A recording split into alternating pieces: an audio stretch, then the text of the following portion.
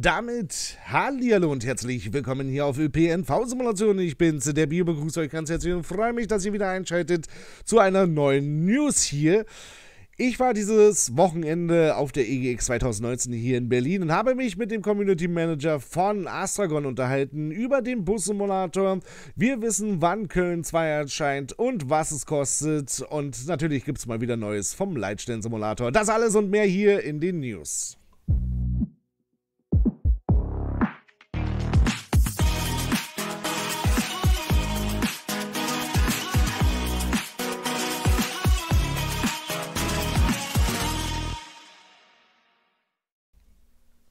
Ja, es ist mal wieder soweit.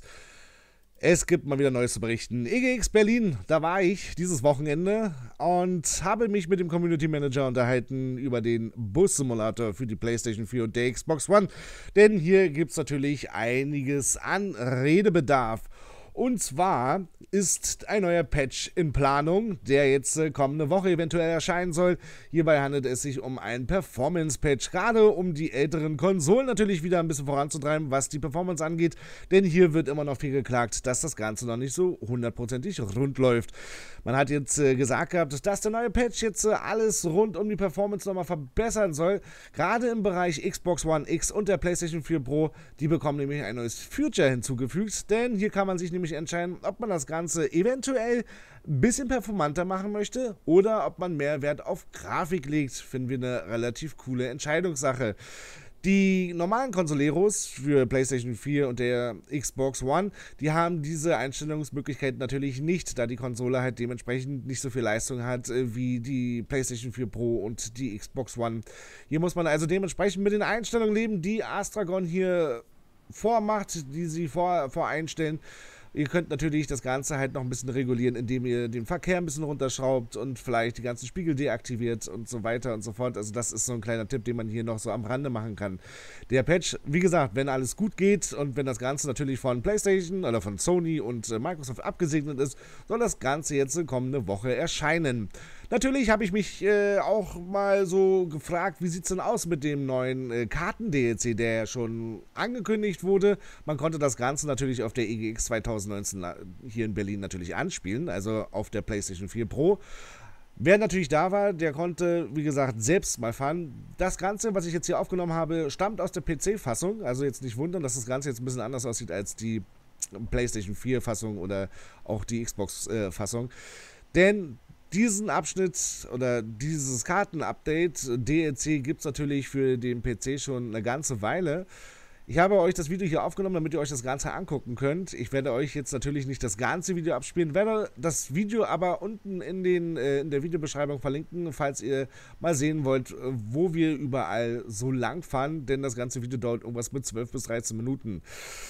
In dem neuen Abschnitt, was wir hier haben, versucht man natürlich erstmal das Ganze um, dass dieser DLC erscheint, dass der Bus-Simulator erstmal flüssig läuft auf allen Konsolen. Sei es äh, die Pro-Version, sei es die Standard-Version von den Konsolen. Vorher wird dieser DLC nicht erscheinen. Also ob es dieses Jahr noch funktioniert, eventuell, das steht also noch gar nicht mehr so fest. Vielleicht, wir rechnen höchstwahrscheinlich erst im nächsten Jahr damit denn das Ganze scheint ein längerer Prozess zu sein. Man hatte mir gesagt gehabt, welche Probleme tatsächlich immer mit in so einer Entwicklung damit reinrutschen. Manchmal funktioniert das auf der einen Konsole, aber wieder nicht auf der anderen Konsole, weil sie eine andere Nummer hat und so weiter und so fort. Also überall keine hundertprozentig gleich gleichen Bauteile in dem Gehäuse verbaut. Und da reicht es manchmal schon, wenn einfach ein Speicher ein komplett anderer ist als wie von einer anderen Konsole und somit kommen schon wieder neue Probleme. Und das ist jetzt aktuell das Problem hier bei Astragon, oder Still Alive Air, äh, mit dem Bus-Simulator, was hier gerade besteht. Von daher sagt man, man muss jetzt leider abwarten, bis die neuen DLCs erscheinen werden. Wie gesagt, das Kartenupdate, das dauert also dementsprechend noch. Auch konnte man mir noch nicht sagen, was das Ganze kosten wird. Ebenso, genauso wie die kleineren Add-ons, die es ja für den PC gibt. Hier haben wir ein DLC für einen, einen neuen Bus, den MAN. Und wir haben DLCs für neue Inneneinrichtungen. Diese werden auch irgendwann für den Bus-Simulator erscheinen, aber auch hier konnte man nicht näher ins Detail gehen. Was man mir aber auf jeden Fall sagen konnte, ist, dass wir weitere DLCs mit rechnen können, die es so auf dem PC noch gar nicht gibt. Also hier profitiert eventuell auch der Bus Simulator 18 eventuell davon, dass der Bus Simulator jetzt für die PlayStation jetzt erschienen ist, um das Ganze halt noch ein bisschen mehr auszustatten mit neuen Bussen, mit neuen Inneneinrichtungen und so weiter.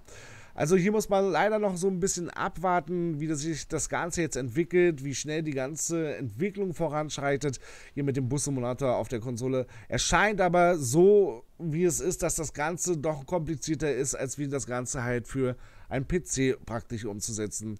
Von daher müssen wir hier weiterhin abwarten. Ich halte euch natürlich auf dem Laufenden, wenn es hier natürlich neue Informationen gibt, ja, rund um natürlich neuen Patches und äh, neuen DLCs hier rund um den Bus-Simulator. Also wenn ihr mehr sehen wollt, unbedingt den, äh, den Button drücken, dass ihr das Ganze hier abonniert, den Kanal, dann verpasst ihr zukünftig nichts mehr davon. Aber es ist natürlich nicht nur der Boost-Simulator interessant, sondern es gab natürlich auch weitere kleinere Updates hier. Gerade jetzt hier in Gladbeck. Die Gladbecker Bürger fahren nun digitaler. Die Westliche Straßenbahn GmbH hat in Gladbeck neue DFI-Anzeigen errichtet. Diese sind ab kommende Woche auch in OMSI 2 nun betriebsbereit. Also ein Update folgt dann die Woche. Das bedeutet, solltet ihr Gladbeck besitzen, wundert euch nicht, falls es ein Update gibt. Hier werden natürlich die neuen DFI-Anzeigen platziert. Weiter geht's mit OMSI 2 Köln. Auch hier wissen wir jetzt, äh, wann es kommt, was es kostet. Aber das wusstet ihr eh schon alle. 29,99 Euro soll das Ganze kosten im Handel, 29,95 Euro im digitalen Download. Das Projekt umfasst die Linie 132, fährt vom Breslauer Platz am Hauptbahnhof über Heumarkt, Ludwigplatz bis nach Meschenich. Es äh, werden abwechslungsreiche Straßen passiert sowie ein paar Sehenswürdigkeiten. Das Addon soll am 7. November 2019 erscheinen. Mit dabei natürlich äh, der Kölner Stadtbus in Solo- und Gelenkvariante. 13,5 Streckenkilometer und 28 Haltestellen insgesamt. Also kommende Woche ist es soweit. Könnt ihr schon mal Geld sparen. 30 Euro mh, hm, kostet das Ganze so im Dreh. Dann, Sobol hat mal wieder neue Bilder veröffentlicht. Jawoll! Wir waren ja von seinem letzten Paket ja schon absolut überzeugt. Und jetzt präsentiert er den MAN A36 Lion City C. Und das kann sich absolut sehen lassen. Das ist wieder ein Modell, was man wieder nicht so wegdenken kann. Hier muss man wirklich sagen, dass das Ganze von den Bildern her schon wieder an ein Payware-Niveau ranreicht. Wir halten euch natürlich auf dem Laufenden, wann es natürlich zum Download ist. Wir werden uns das auf jeden Fall anschauen, denn Symbol macht hier absolut richtig geniale Arbeit. Ein neues DLC ist für den Train-Simulator vergangene Woche erschienen, welches wir vergessen haben. Es handelt sich hierbei um eine neue Strecke. Die auch als Oberländerlinie bekannte 50 Kilometer lange Eisenbahnlinie von Reichenau-Tamins nach Disentis Myster überquert das herausfordernde und malerische obere Mittelrheintal. Diese berühmte Meterspurlinie aus dem früheren 20. Jahrhundert dient heute als Hauptkorridor für Regional-, Express- und Güterzüge. Und Sie können dies in Train Simulator entdecken. Das Ganze, wie gesagt, aktuell jetzt auf Steam erhältlich für 29,99 Euro.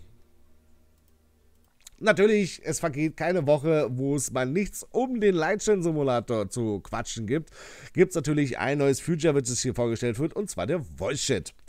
Im Leitstand-Simulator wird besonders hohen Wert auf den Funk gelegt, weshalb für jede Leitstandfahrt ein umfassender, geräteübergreifender Voice-Chat mit zwei Kanälen geboten wird. Du besitzt kein Headset? Kein Problem. In diesem Fall kannst du dich auch ganz einfach mit deinem Android- oder iOS-Smartphone bzw. Tablet mit dem Voice-Chat verbinden und dich so mit der Leitstelle und deinen Kollegen unterhalten.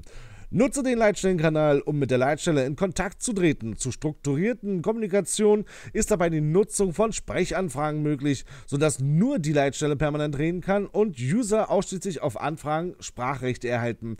Dabei wird der Leitstelle eine sortierte Übersicht darüber geboten, wer eine Sprechanfrage gestellt hat und wie lange der Fahrer schon wartet. Wer sich ununterbrochen mit seinen Kollegen unterhalten möchte, kann den öffentlichen Kanal nutzen. Dort haben alle jederzeit Sprachrechte. Auch hier wieder absolut geiles Future. Wir freuen uns auf den Lightchain Simulator. Ich hoffe, es ist bald so weit, damit wir das Ganze endlich mal selber testen können. Und das war es dann auch schon wieder für oder von den News hier für diese Woche. Ist doch schon wieder einiges zusammengekommen, finden wir klasse. Die EGX 2019, ja, was soll ich sagen? Das war ein absoluter Reinfall. 20 Euro hat das Ganze gekostet, hätte man sich auch echt schenken können. Aber das Gespräch mit dem Community Manager war eigentlich eine relativ coole Sache. Das Video was ich äh, am Anfang des Videos gesagt hatte, findet ihr, wie gesagt, unten in der Videobeschreibung. Dort könnt ihr euch die komplette Strecke mal anschauen. Wie gesagt, um die 12 bis 13 Minuten geht das Ganze. Und dort zeigen wir den, den Strecken-DLC für den Bus-Simulator. Wenn euch das Video gefallen hat, unbedingt ein Like da lassen. Wenn ihr mehr sehen wollt, drückt den Abonnier-Button. Und sonst verabschiede ich mich jetzt hier. Ich wünsche euch eine schöne Woche und wir sehen uns am Sonntag wieder. Damit verabschiede ich mich. Ciao, tschüss und bis zum nächsten Mal.